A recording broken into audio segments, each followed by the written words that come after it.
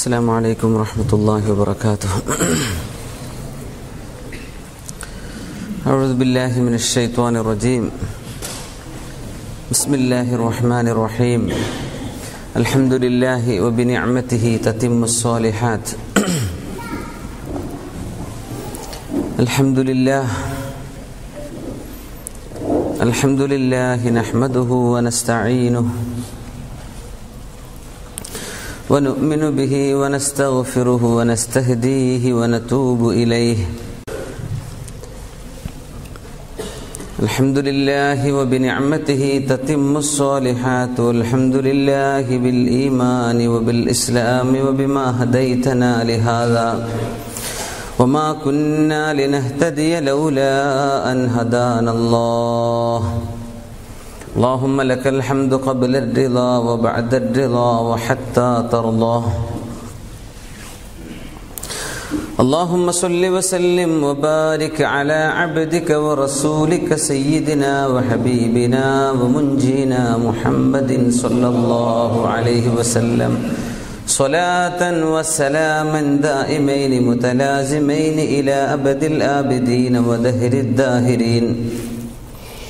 اللهم صل وسلم عليه في الملأ الأعلى إلى يوم الدين الذي خلق الموت والحياة അള്ളാഹു അള്ളാഹുവാണ് മരണം പടച്ചത് വൽ ഹയാ ജീവിതം പടച്ചതും അള്ളാഹുവാണ്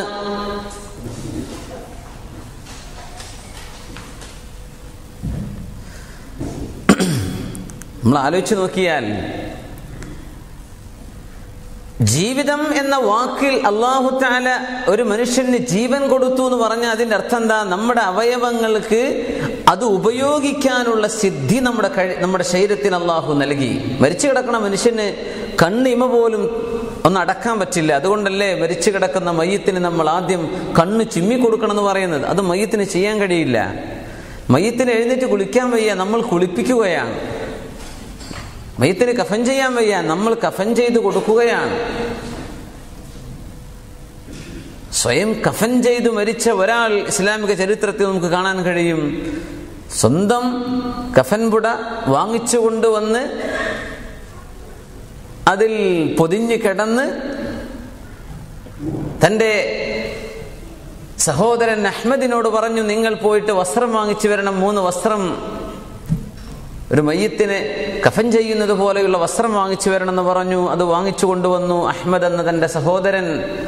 എന്നിട്ട് ആ മഹാൻ ആ വസ്ത്രത്തിൽ ഒരാൾ പുതപ്പിട്ട് മൂടുന്ന പോലെ ആ മൂന്ന് വസ്ത്രവും ശരീരത്തിൽ പൊതിഞ്ഞുകൊണ്ട് കടന്നു. ഫത്തൂഫിയ അങ്ങനെ വഫാത്തായ മഹാൻ മഹാനായ അബു ഹാമിദുൽ ഖസാലി റഹ്മത്തുല്ലാഹി അലൈഹി. ഇമാം ഖസാലി തങ്ങളാണ്. പക്ഷെ മരിച്ചു കിടക്കുന്ന ഒരാൾക്കത് ചെയ്യാൻ കഴിയുന്നില്ല. അപ്പൊ അള്ളാഹു ജീവൻ തരാന്ന് പറഞ്ഞതിന് അർത്ഥം തന്നെ നമ്മുടെ അവയവങ്ങളെ ഉപയോഗിക്കത്തക്ക രീതിയിലേക്ക് അള്ളാഹു നമ്മളെ നമ്മുടെ ശരീരത്തിന് അവയവങ്ങളെ വർക്ക് ചെയ്യാനുള്ള ഒരു കപ്പാസിറ്റി നമുക്ക് നൽകുക എന്നാണ്.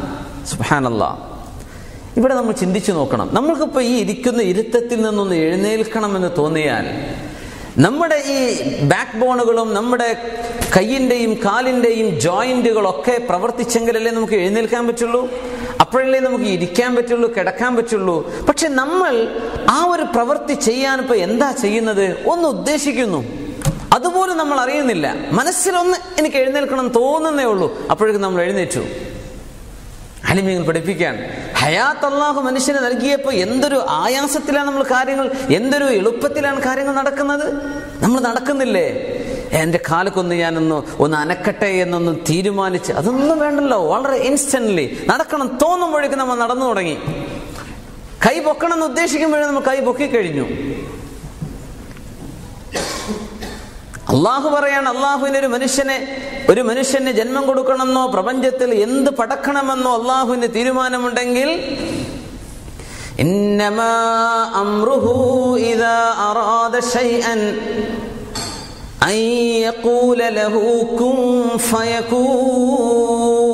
അള്ളാഹുവിന് ആ വസ്തുവിനോട് കുൻ എന്ന് ഉദ്ദേശിക്കുക മതി. എന്ന് പറയേണ്ട ആവശ്യമില്ല എന്നാണ്. നീ ഉണ്ടാവുക എന്ന് അള്ളാഹുവിന് പറയേണ്ട ആവശ്യമില്ല. ഫയക്കൂൻ അള്ളാഹുവിന്റെ ഇറാദത്ത് അള്ളാഹുവിന്റെ ഉദ്ദേശം ആ വസ്തുവുമായി ബന്ധിക്കുമ്പോഴേക്കും അത് വുജൂദിലേക്ക് എക്സിസ്റ്റൻസിലേക്ക് വരികയാണ്. ഇത് അള്ളാഹുവിന്റെ വിഷയം പറയുമ്പോൾ നമുക്ക് എന്തിനാണ് അത്ഭുതം നമ്മൾ എഴുന്നേൽക്കുന്നത് പോലും നമ്മൾ കുഞ്ഞെന്ന് പോലും നമ്മൾ ഉദ്ദേശിക്കുന്നില്ലല്ലോ അതിനുമ്പോൾ നമ്മൾ എഴുന്നേൽക്കുന്നില്ലേ.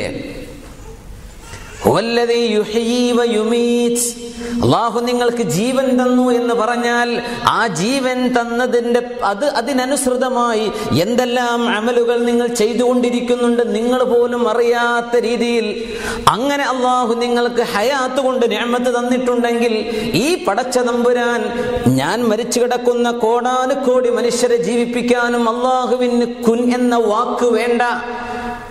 കുൻ വാക്കിന്റെ പോലും ആവശ്യമില്ല. അള്ളാഹുവിന്റെ ഇറാദത്ത് മതി. ഇത് പറയുമ്പോൾ നമുക്ക് എന്തിനാണ് അത്ഭുതം.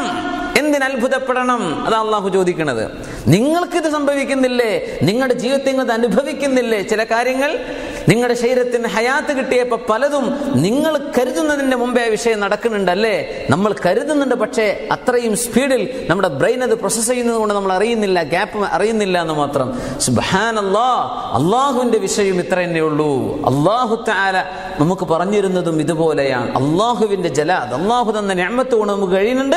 അള്ളാഹു താല ഖാലിഖുൻ ബിദാത്തിഹി അള്ളാഹു സുബാനുഹു താല അവനാണ് ഖാലിഖ്.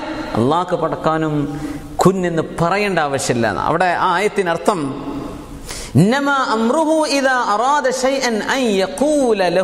ആ വസ്തുവിനോട് പറയലാണ് എന്നല്ല ആ വസ്തുവിനോട് അള്ളാഹുവിന്റെ ഇറാദത്ത് ബന്ധിക്കലാണ് എന്നാണ് അർത്ഥം കൊടുക്കുക. അള്ളാഹ് ഉണ്ടാവുക എന്ന് പറയേണ്ട ആവശ്യമില്ല. കുൻ ഉണ്ടാവുക എന്ന് ബി ആൻഡ് ഇറ്റ് ഈസ്. അള്ളാഹുവിന് അതിനോട് ഉണ്ടാവുക എന്ന അള്ളാഹുവിന്റെ ഇറാദത്ത് ഒന്ന് ഒന്ന് ബന്ധിക്കുക മാത്രമേ ആവശ്യമുള്ളൂ അപ്പോഴേക്കും അത് ഉണ്ടാവുകയായി. അപ്പോ അള്ളാഹു സുബാനുഹത്താലെ ഈ ലോകത്ത് നമുക്ക് ഒരുപാട് കാര്യങ്ങൾ ചെയ്യാനുള്ള കഴിവ് ഹയാത്തിലൂടെ അള്ളാഹുത്താല നൽകിയിട്ടുണ്ട്. പക്ഷെ അള്ളാഹു പറയാണ് അങ്ങനെ നിങ്ങൾക്ക് യഥേഷ്ടം പ്രവർത്തിക്കാനുള്ള ഒരു ഒരു ഒരു സ്ട്രെങ്ത് നിങ്ങളുടെ ശരീരത്തിന് അള്ളാഹു നൽകിയത് കൊണ്ട് വഴിവിട്ട് ജീവിക്കല്ല കേട്ടോ? ഇതിന് ശേഷം ഒരു മരണം നിങ്ങൾ വരാൻ പോകുന്നുണ്ട് നിങ്ങളുടെ തൊട്ടടുത്ത്. അതിനനുസൃതമായിട്ട് നീ അനക്കിക്കോ കൈകാലുകൾ. നിന്റെ കൈകാലുകളും നിന്റെ ശരീരവും അനക്കാനും അടക്കാനും ഒതുക്കാനും ഒക്കെയുള്ള കഴിവ് നിനക്ക് തന്നിട്ടുണ്ട്. പക്ഷേ നിന്നെ ദുന്യാവിലേക്ക് ഞാൻ പടച്ചുവിടുമ്പോൾ ഓർക്കണം നീ കൈകാലുകൾ അനക്കുന്നതെല്ലാം അള്ളാഹുവിന്റെ പൊരുത്തത്തിലായിരിക്കണം. നിനക്ക് മരണം വരാനുണ്ട്. അങ്ങനെ ഒരാശയം കിട്ടാനാണ് സൂറത്തുൽ മുൽക്കിൽ തബാറക്ക സൂറയിൽ അള്ളാഹു മരണത്തെ ആദ്യം പറഞ്ഞത്. കാരണം ആ ആയത്ത് സംസാരിക്കുന്നത് എന്തിനെ കുറിച്ചാണ് മനുഷ്യന്റെ ജീവിതത്തിന്റെ ലക്ഷ്യത്തെക്കുറിച്ചാണ് എന്തിനാ അള്ളാഹു മനുഷ്യനെ പടച്ചത് എന്ന് പറയുന്ന ആയത്താണത്. അപ്പൊ അള്ളാഹു പറഞ്ഞൊരു ആദ്യം മരണം എന്ന് ഓർമ്മിപ്പിച്ചു പിന്നെ നിനക്ക് ഞാൻ ജീവൻ തന്നിട്ടുണ്ട് കേട്ടോ പക്ഷെ മരണം ഓർത്തോ? ബാക്കി എവിടെ പറയുമ്പോഴും അള്ളാഹു ആദ്യം ജീവിതം പിന്നെ മരണം. ഇവിടെ ജീവിതത്തിന്റെ ലക്ഷ്യം പഠിപ്പിച്ചപ്പോൾ പറഞ്ഞു മരണം ഓർത്തുകൊണ്ട് ജീവിച്ചാൽ മതി കേട്ടോ എന്ന്. സുബ്ഹാനല്ലാഹ് അത് ഖുർആാനിന്റെ എജാസിൽപ്പെട്ട ഒരു എജാസാണ് അള്ളാഹു ആശയങ്ങളെ എത്ര കൃത്യമായിട്ട് നമുക്ക് പറഞ്ഞിരുന്നത് എന്ന് നമ്മൾ ബോധ്യപ്പെടുത്തുകയാണ്. അല്ലാഹുവാണ് മരണം പടച്ചത്. വൽ ഹയാത അല്ലാഹുവാണ് ജീവിതം പടച്ചത്. ലിയബ്ലുവക്കും അയ്യുക്കും അഹ്സനു അമലാ. നിങ്ങളിൽ ആരാണ് ഏറ്റവും നല്ല കർമ്മങ്ങൾ ചെയ്യുന്നത് എന്ന് നോക്കാൻ വേണ്ടി അള്ളാഹുവാണ് നിങ്ങൾക്ക് മരണവും ജീവിതവും അള്ളാഹു തന്നതാണ്. എന്താ ലക്ഷ്യം? ആര് നല്ല അമലുകൾ ചെയ്യുന്നു എന്ന് നോക്കാനാണ്. അപ്പൊ അള്ളാഹു മരണം എന്ന് ആദ്യം പറഞ്ഞു പിന്നെ ജീവിതത്തെ കുറിച്ച് പറഞ്ഞു. സുബ്ഹാനല്ലാ. അപ്പോ അള്ളാഹു സുബാനുഹോത്താല ജീവിപ്പിക്കുന്നവനാണ്. എന്ന് പറഞ്ഞാൽ അതിന്റെ മുമ്പ് ജീവനില്ല. മയ്യത്തിനെയാണ് ജീവിപ്പിക്കുക. ജീവനില്ലാത്തതിനാണ് ജീവൻ കൊടുക്കുക. ജീവൻ ഉള്ളതിന് മരണം കൊടുക്കുന്നവനും അള്ളാഹുവാൻ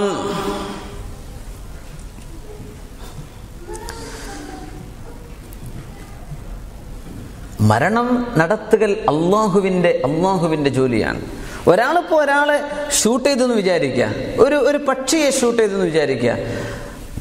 ഒരാൾ വിചാരിച്ച ഒരാൾ ഒരാളെ ഞാൻ കൊല്ലുകയാണെന്ന് പറഞ്ഞു നമ്രൂദ് എന്ന് പറഞ്ഞല്ലോ അങ്ങനെ ഞാൻ അനൗഹീവയുമീൻ എനിക്കും കഴിയും ജീവിപ്പിക്കാനും മരിപ്പിക്കാനും എന്ന് നമ്രൂദ് പറഞ്ഞിരുന്നു ഇബ്രാഹിം അലഹി സ്വലാത്തു വസ്സലാമിനോട്. ഒരാളിങ്ങനെ പറയാ ഞാൻ എനിക്ക് മരിപ്പിക്കാൻ കഴിയും. ഒരാളെ ഷൂട്ട് ചെയ്തു അയാൾ ഉടനടി മരിച്ചു. ഇവിടെ മനുഷ്യൻ പറയാ ഞാൻ അയാളെ മരിപ്പിച്ചു എന്നല്ല പറയാ. ഖതൽതു എന്ന് പറയാം ഞാൻ കൊല ചെയ്തു എന്ന് പറയാം കൊല ചെയ്യുക എന്ന് പറഞ്ഞാൽ എന്താ? നഖദുൽ ബിന്യ.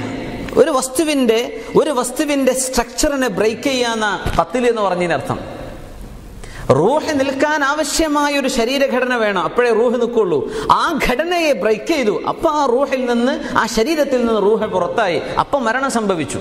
സത്യത്തിൽ മരണം സംഭവിപ്പിക്കുകയല്ല ഒരാൾ ചെയ്യുന്നത്. അയാൾ ചെയ്യുന്നത് ജീവൻ നിലനിൽക്കാൻ ആവശ്യമായ ആ ശരീരത്തെ തകർക്കുകയാണ്. അങ്ങനെ വന്നാൽ ശരീരത്തിന്റെ ഉള്ളിൽ റൂഹിന് നിൽക്കാൻ കഴിയാത്ത ഒരു സ്റ്റേജ് വന്നാൽ അവിടെ മരണം സംഭവിക്കും. അവിടെയും മരണം സംഭവിക്കുന്നു. അത് അള്ളാഹു സംഭവിപ്പിക്കുകയാണ്. ഇമാത്തത്ത് രണ്ടും അള്ളാഹു ഉണ്ടാക്കുന്ന അള്ളാഹുവിന്റെ ഹൽക്കുകളാണ്